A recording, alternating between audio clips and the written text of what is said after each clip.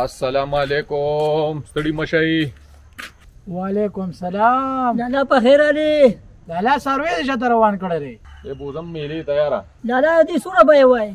د بس 50 زره وامنو لالا سروي خو ډېر خولې بس په سلويغ زره زمونږ شو و مسلمانانو پنځوس زره جایز ریټ دی کنه نو که چاته مبایع کړی نه ده لیدلې مو هم نه ده بس په څلوېښت زره زمونږ شو په څلوېښت چاته کېږي مسلمانه بېګا ورپسې یو پارټي راغلی وه په پنځوس باندې خبره ړنګ شوې وه خو د ماره ناراستی د وجې پاتې شو نو نه دی بېګا خاص شوی و بس لالا تا چې دومره غټه خبره وکړه بس په پنځه څلوېښت زمونږ شو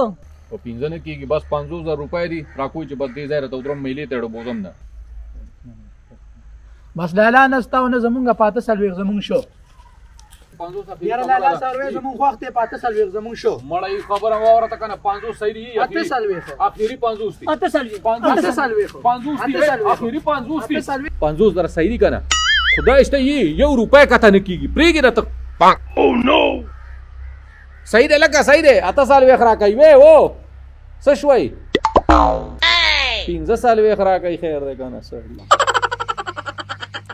په 2000 روپۍ کې پارټي خطا شو